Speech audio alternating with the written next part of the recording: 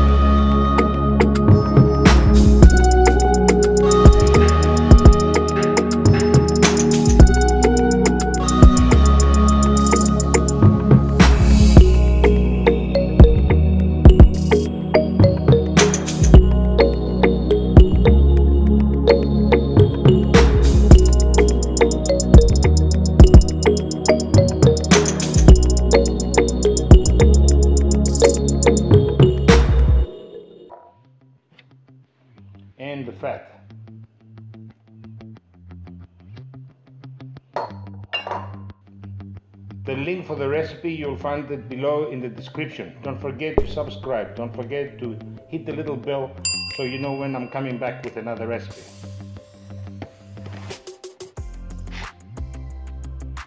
First thing we do is wet the meat with a vinegar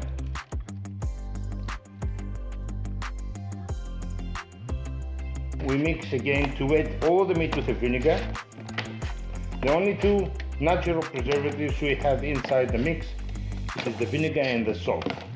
And of course, the chili does the job as well and the cloves. Alright, we have the spice.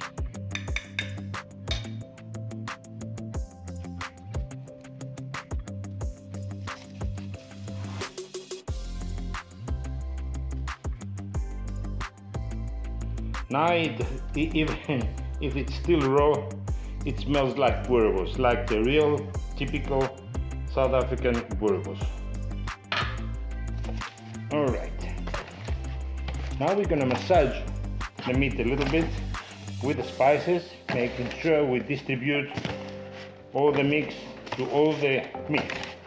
Once this is mixed, we're going to allow it to stay in the fridge for about an hour. And to grind the meat, we need the coarse blade. We feed it in.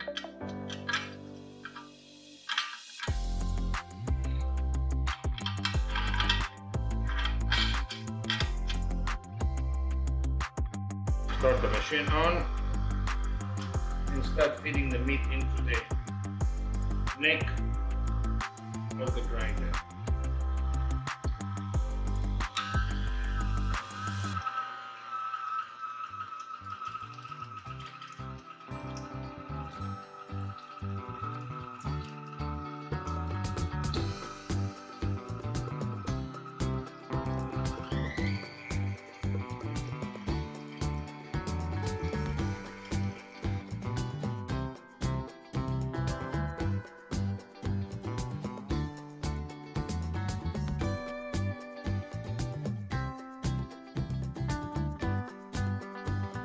So now we have the nozzle on for the sausages.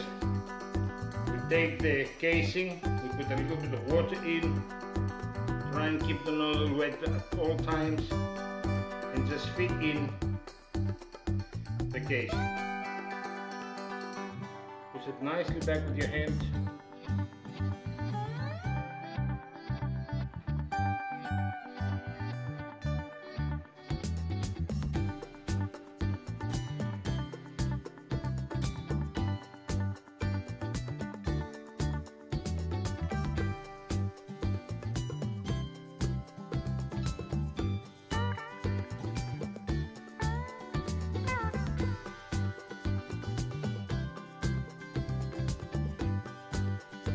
Now we have the casing on the nozzle and we're gonna start making the sausages.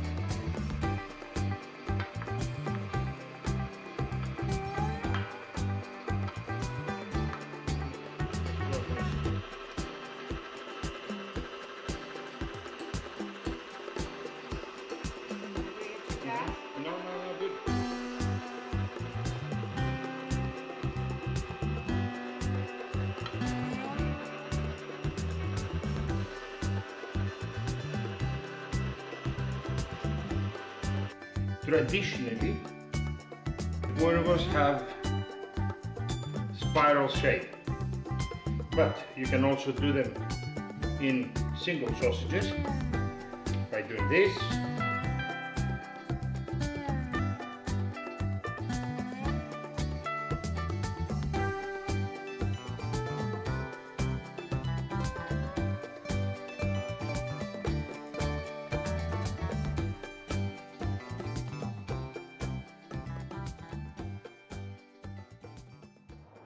So we're ready now to go into the smoker.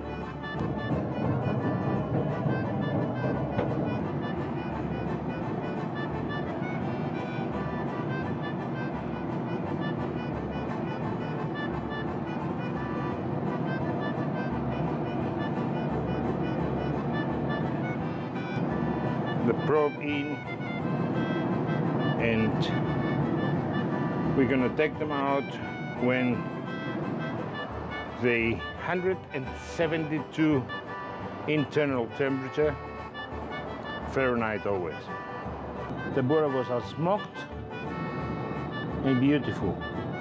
Baie, baie mooi. And now we have to turn the smoke into a grill and grill the one of them, the one spiral. But uh, before that, we're gonna take the rest and dip them into cold, icy cold water to drop the temperature and uh, then we can package them and put them in the fridge.